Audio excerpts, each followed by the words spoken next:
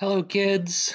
For reading on Thursday and Friday, this is October 1st and October 2nd, I'd like to make sure that you at least get 30 minutes of reading in each day. Now, it is going to be a free reading period, so you can read books that you have at home. You can read with an adult. You can read with a sibling. You can read with a friend if you've got friends around. You can read to a pet. You can read to yourself, but enjoy your reading time, okay? Take the time to just relax and read and find a good book.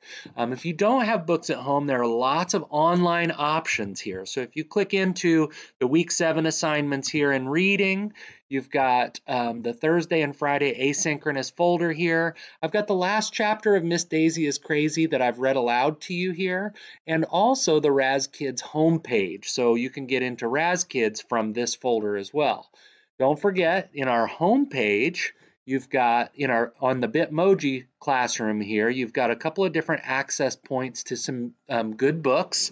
You can go into the EPIC library. In the EPIC library, you um, click in and you find the class code here, you enter the class code, and then you um, search for your name in the student list here.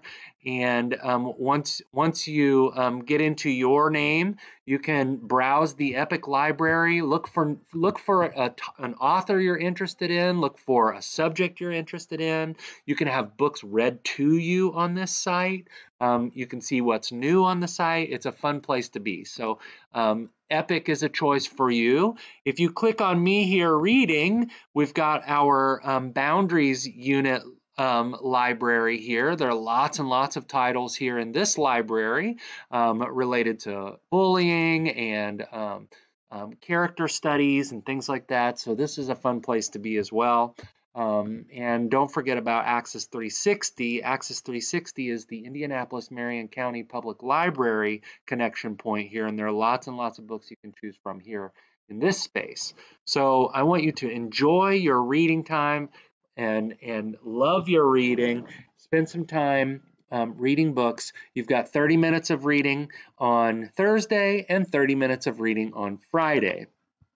I'm also going to be posting a discussion. If you go into the um, reading folder here, I'm going to be posting a discussion thread here in this folder where you can um, make comments on the books that you're reading and and recommendations. Like you can actually recommend books to your classmates. You can say oh i found this book here on epic. I think you might like it because um, be, and give some reasons why you liked it. So um, that would be that would be another thing that you could do is post here in the discussion thread about books that um, that you have been reading.